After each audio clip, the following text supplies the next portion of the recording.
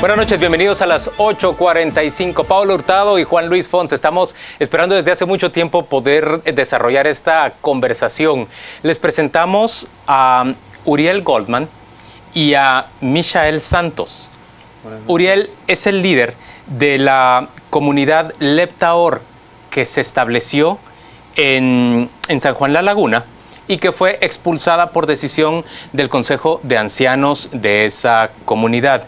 Michael Santos es un guatemalteco capitalino que mm, empezó a estudiar y se identificó con las creencias del judaísmo, se decidió por seguir la vertiente ultraortodoxa del judaísmo que representa Leptaor y él de alguna manera sirvió de puente para que ellos vinieran desde Canadá hasta Guatemala. ¿Es eso correcto lo que estoy diciendo? Sí. Pues bienvenidos a ambos. Gracias por estar con nosotros y gracias por pues animarse a responder a muchísimas preguntas que tienen nuestros televidentes, la ciudadanía en términos generales, sobre su grupo religioso, sobre su permanencia en Guatemala y sobre la experiencia que vivieron en San Juan La Laguna. Paola.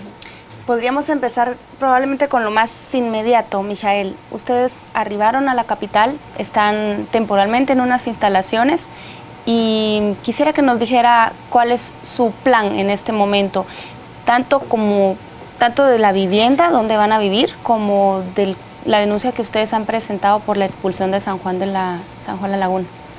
Bueno, nosotros decidimos eh, lo, salir urgentemente de, de San Juan por ciertas declaraciones que se hicieron por miembros del Comité de Ancianos de, en la reunión que se dio en la Procuraduría de los Derechos Humanos. Ese mismo día empezamos a tocar el tema de salir lo más pronto, porque sabíamos que posiblemente sí lo iban a hacer, ¿verdad? Que el pueblo se levantara. ¿Ustedes temían violencia en su contra? Eh, sí, definitivamente. Eh, decidimos salir y agarramos un lugar que ya estábamos viendo una negociación pero por cierta, ciertos requisitos en el edificio que necesitábamos como para volverlo para habitación, no lo habíamos eh, eh, agarrado, pero decidimos tomarlo, lo tomamos y lo estamos adaptando ahorita para, para, para vivienda, ya estando ahí, ¿verdad? Entonces hay varias cosas que le hacen falta, pero era necesario salir lo más pronto de ahí, ¿verdad? ¿Cuál es Uriel. el plan ahora? ¿Hacia dónde van?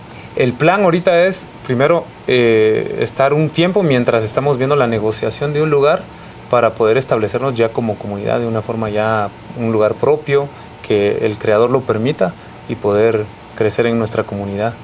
¿verdad? Uriel, ¿por qué vinieron ustedes de Canadá a Guatemala?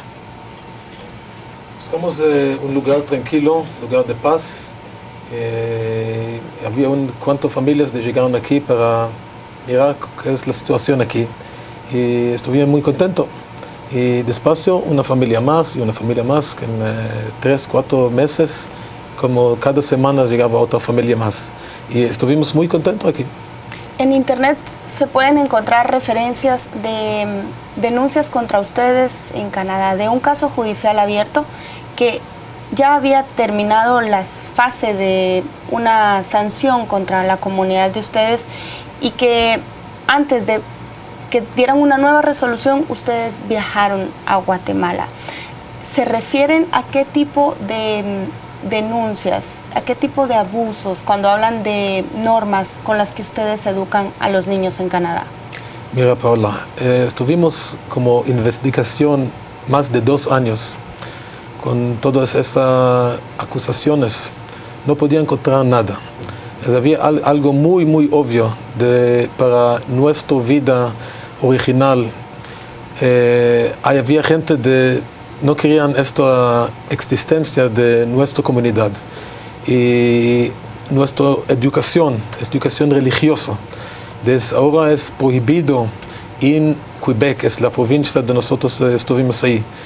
Y hicimos una decisión de queremos mudar de allá, de no podemos tener la misma educación del, de Quebec, el gobierno de Quebec da para toda la, la- gente allá, es algo descontrario de nuestra religión.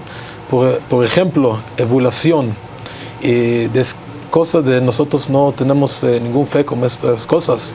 Y por allá es necesitamos estudiar estas cosas. Por eso mudamos a otro lugar. Se refiere a la evolución, sobre la Evolución. teoría sobre la evolución humana. Disculpa, Ustedes- español, pero- No, no, pero para aclarar, por si alguien no lo entendió muy bien, Sí, con esas teorías ustedes no están de acuerdo que se las enseñen a sus hijos en, Eso. en el sistema por Y educativo. las autoridades canadienses, las autoridades de Quebec, obligaban a que ustedes educaran a sus hijos en base a un sistema, a un currículum, a un pensum que era público y general para todos en Canadá. Hasta hoy, es, es- la, cada uno de, vive en Quebec necesita estudiar solo este currículum de ellos. Y de alguno no estudia eso, pueden agarrar sus niños. Es algo de solo en Quebec pasa cosa como esto. Ellos se quejaban también de sus métodos disciplinarios con los niños. ¿Golpean ustedes a sus hijos para imponerles disciplina? No. Por eso yo dice, estuvimos como dos años con investigación. No podía encontrar un niño que tenía una cosa de Seña de golpe. Una señal de golpe. Nada, de nada. Y yo puedo de- decir, eh, como cada familia tenía como 50 veces llegaron la gente adentro de sus casas, nuestras casas, para mirar cosas y no podían encontrar nada contrario de la ley. Y ellos nos habían muy enojado porque no pueden encontrar nada. Y, y después de mudamos, ellos como tenían una, una razón para encontrar algo. Así mucho eh, tiempo buscaban, buscaban, no pueden. Por eso hacemos la decisión salir de allá. El gobierno de Canadá da un montón de ayuda para familias. Y decimos, chao, no, no, necesitamos tu ayuda y también no meter en nuestra eh, religión. No necesitan su ayuda, pero ¿de qué vive el grupo Leptaor? Son aproximadamente 250, 270 integrantes del grupo. No se les conoce una profesión, un oficio concreto, por ejemplo en San Juan La Laguna. ¿Cómo se mantienen? En, el- en cuestión de los que somos guatemaltecos, que eh, éramos o somos parte de un movimiento llamado Toiras Jeses, el cual nos hemos unido con, con Lev Tajor, eh, muchos de los que somos guatemaltecos tenemos, algunos tienen negocios propios, por ejemplo, venta de carros, otros tienen venta de, de- de madera, aserradero, ¿Cuántos son guatemaltecos en el eh, grupo? más o menos somos como 40 personas. En el caso de otros que se dedican al comercio, en el caso mío, eh, desde que llegué la primera vez a San Juan, me dediqué al comercio, venta de comida típica y cuestiones así. Eh, actualmente re- eh, estoy representando un restaurante que está en San Pedro, La Laguna, ¿verdad? Que es parte de una sinagoga también judía que se encuentra en San Pedro y algunas otras cuestiones comerciales también. Entonces, en el caso de los guatemaltecos, sí, nosotros trabajamos. Ahora, en el caso de las personas que vinieron de Canadá, del Eptajor, obviamente ellos están buscando establecerse, igual ahorita que nosotros también, ¿verdad? Y a la hora de establecerse, empezar es- empresas que, que puedan dar fruto aquí en Guatemala, ¿verdad? Uriel, ¿por qué escogieron San Juan La Laguna? ¿Era por el lago? ¿Era por lo pequeño?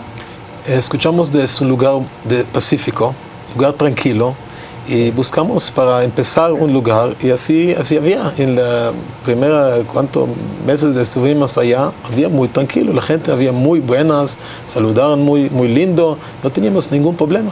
¿Cómo, ¿Cómo responden ustedes a esas críticas de que se bañan sin ropa en el lago, que no saludan a la gente, que no quieren tener contacto para incluso recibir el, dinero del cambio en una tienda? ¿Eso es, es así o cómo lo ven ustedes? Hay cosas de eh, mentiras, obvio mentiras, como bañamos de nudos, es algo de, eh, usted puede ver como nosotros corremos cubrir todo el cuerpo, y el mujeres especialmente, como ¿cómo puede decir de hacemos algo de nudos? Es contrario totalmente de nuestra vida, nuestro Torah. Obliga totalmente a hacer el cubrir, cubrir el cuerpo. la- la- hay El Torah otro- es el libro sagrado judío. Sí. Y hay cosas de, eh, como dicen, no podemos eh, agarrar el... eh, eh, puede ser algo de la religión, de eh, nosotros no damos el mano para una mujer, algo de totalmente religión, pero nada contrario de ello. Es, eh, nosotros respetamos mucho el, el tradición original de indígenas, por ejemplo, mucho. El vestido original, nosotros también tenemos también vestido original, Son- tenemos mucho respeto. Pero ustedes, por ejemplo, los hombres de su comunidad no le dan la mano ni establecen contacto con una mujer que no sea su madre su hija o su pareja. Exacto. Sí. Las mujeres de su comunidad tampoco pueden establecer ni siquiera el contacto con la mano con un hombre que no sea su padre de su núcleo o su familiar. pareja, su núcleo Hijo, familiar. esposo o padre. Es lo mismo. ajá. Y, y no es algo de contrario de ello, es respeto. no Respeto. ¿Intentaron ustedes conciliar esa diferencia de culturas en algún momento con la comunidad? Sí, varias veces. Desde los primeros problemas se trató de, tener contacto con los líderes, tanto de la alcaldía como de comunitarios, cocodes o comunes. Y se, se mandaban cartas pidiendo citas para poder platicar y llegar a un acuerdo, un bien comunal, ¿va? no solo para ellos y no solo para nosotros. Eh, no se logró ese acuerdo. El último intento lo hicimos en la Procuraduría de los Derechos Humanos, haciendo una mesa redonda, que fue, fue una petición nuestra, ¿verdad? Antes de, de llegar a, problemas más serios, nosotros quisi- quisimos, ¿verdad? Y, hablar, no para pedir más tiempo, porque ellos no tenían el derecho de sacarnos, nosotros como guatemaltecos, inclusive ellos como extranjeros igual, eh, sino queríamos que nos dieran el, el- o sea, nosotros necesitábamos cierto tiempo, pero seguros en la población, que no hubieran más problemas, que no hubieran. Entonces, por eso se decidió hacer esta mesa redonda, lo cual no llegó a ningún buen término. A ver, señores, ustedes sí responden a un saludo verbal, pero no dan la mano. Sí, Exacto. El, el segundo punto es, los niños no van a las escuelas públicas ni privadas. Los niños de Leptaor se educan en la escuela propia de Leptaor sí. Y empezamos en tres años. A los tres años de edad. a los tres años. tres años, sí. de- ¿A qué edad se casan las niñas y a qué edad empiezan a tener hijos las niñas? no hay una edad de alguno necesita casar el hijo, pero de alguno de, de 16 años quiere casar y los padres de él tienen un, eh, piensan una novia buena para él, de él de ellos quieren, pueden casar de 16 años. ¿Pero hay un acuerdo entre los jóvenes para casarse o es un arreglo que se da entre los padres? es arreglo con el padre y es mejor. El padre se saben más, tiene más experiencia para saber qué es lo mejor para mi hijo, para mi hija. Eh, jóvenes eh, puede ser de no van a elegir el, eh, el- alguno de puede vivir con, eh, con ellos toda la vida mejor. Él pueden eh, pensar otras cosas. Y ocurre a veces que los jóvenes se enamoran de una persona que no es la que sus padres han elegido. Normalmente eso no, no pasa en, en cuestión de nuestro movimiento, porque no existe el noviazgo. Desde, desde que los niños van creciendo, se, se- se guarda la misma línea de, de no tener contacto con, con- con- con el otro género, ¿verdad? O sea, sí, obviamente se ven, y, pero cada quien no existe el noviazgo hasta que llega la cierta edad y ellos están de acuerdo, ya se hace un arreglo matrimonial en el cual también obviamente ellos tienen que estar de acuerdo, ¿verdad? Si ellos no quieren casarse, no, no se creen preparados, obviamente no se les obliga a que lo hagan. Michael, ¿y ustedes creen que pueden encontrar otro lugar en la capital o en otra comunidad en Guatemala donde sean aceptados con todo esto que ha sucedido en los últimos meses? Yo pienso que sí, porque eh, yo creo que todos los guatemaltecos, inclusive las mismas personas en San Juan, muchas personas eh, no estaban de acuerdo de lo que estaba sucediendo, ¿verdad? Eh, yo lo he repetido un montón de veces, no toda la población actuó en este, en, este, en este problema que, que hubo ahí en San Juan. Mucha gente, mucha gente estaba en desacuerdo de mucha gente de San Juan. Era un grupo dirigido por este comité y por la alcaldía que ¿Y cuál es la forma. explicación que usted le da ahora a lo que sucedió? ¿Qué faltó en, en San Juan? ¿O ¿Qué pasó? Yo pienso que es lo que normalmente pasa en varios problemas y guerras, no hay comunicación. Yo pienso que lo que ellos tendrían que haber hecho era acercarse a nosotros y preguntarnos realmente qué era lo que estaba pasando. Mucha mala información se estaba manejando. ¿No les faltó a ustedes también acercarse desde el principio a la comunidad? Por ejemplo, reconocer al Consejo de Ancianos y pedir desde el principio que ellos intervinieran como anfitriones suyos o como presentadores suyos ante la comunidad. Nosotros pedimos, hicimos, empezamos ajá, lo la, la, la- problemas. Yo, por ejemplo, un, escribí una carta para el Consejo de Ancianos. Yo quiero una audiencia para escuchar. Una audiencia para ser Audiencia. escuchado. Eso, y, eh, podía hacer eso, pero había muy tarde. Yo expliqué para la gente allá, no tenemos nada contrario, al revés, tenemos mucho respeto, eh, más de otras personas. Gente que tiene su tradición original, es muy cerca de nosotros. Y, y- pero ellos no querían escuchar, eh, gran lástima, es lástima de pasó esto, pero antes no sabíamos, ellos piensan cosas malas. Nos- la mayoría de la gente, 90% saludan muy, muy bueno a la calle.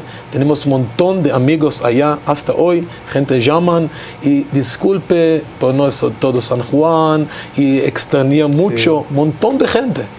Ah, qué interesante. No, no es un rechazo que ustedes vayan por la- Generalizado. o generalizado, que ustedes vayan por la calle y les estén No. lanzando insultos. O Al revés, al han revés. sido casos específicos, como cuando les tiraron piedras a un grupo de ustedes, los muchachos. Era, era- eran jóvenes, en este caso, cuando estuvieron saliendo varios miembros de, de- de nuestra comunidad, mucha gente se acercó a disculparse y dijeron, por favor, no piensen que es todo el pueblo. Inclusive muchos llorando, eh, dueños de nuestras casas. Y en el caso mío, que yo viví seis años allá, gente que era amiga de nosotros, y vuelvo a repetir, no era toda la población, ¿verdad? Uriel, ustedes migraron hacia Guatemala con qué estatus? ¿Ustedes son turistas en nuestro país? ¿Han iniciado ya trámites para establecerse, para obtener su residencia acá? ¿Cuál es su estatus migratorio? Eh, Empezamos eh, a trabajar con un abogado para hacer residencia temporal, pero cada uno de nosotros tiene la, el, el- el- Sé como turista ahorita. El sello de ingreso como turista. Exacto. Turista. Pero ya contrataron a un abogado que inicie los trámites para obtener su residencia Sí.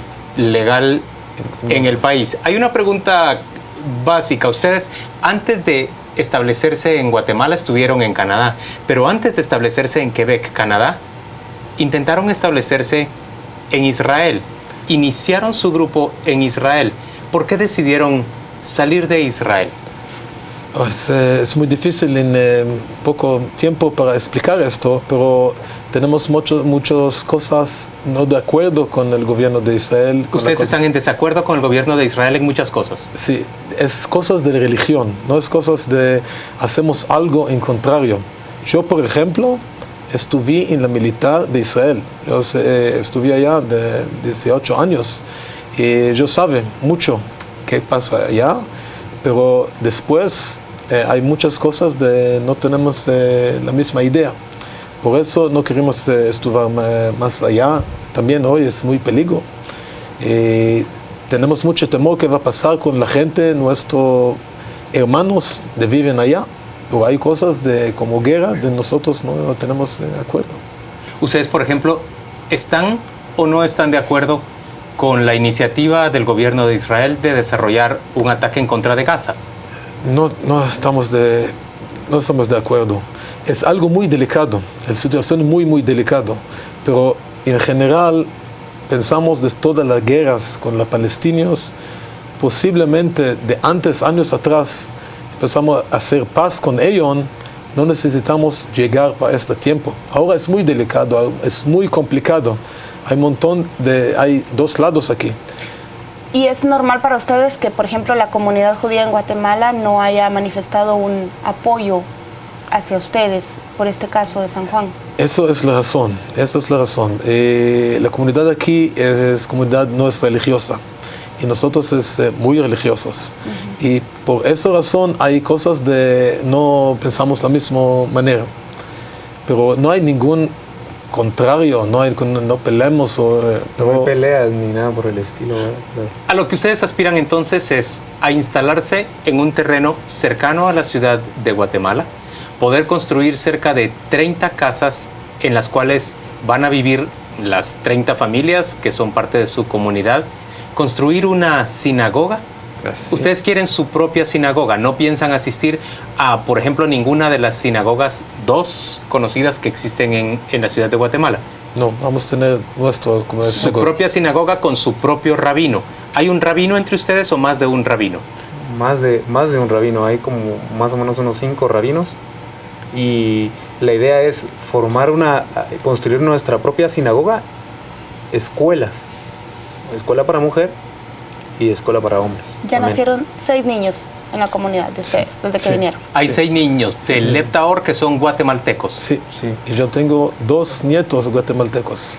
Dos nietos guatemaltecos tiene Uriel Goldman. Señores, gracias por acompañarnos hoy a las 8.45. Un gusto poder conversar con ustedes. Por supuesto, nosotros habremos de invitar también a los miembros del Consejo de Ancianos de San Juan La Laguna y nos encantaría poder conversar con ellos también respecto de las razones por las cuales terminaron siendo conminados a salir los integrantes de la comunidad Leptaor. Vamos a la pausa comercial, volvemos Gracias. dentro de muy poco. Gracias. Gracias.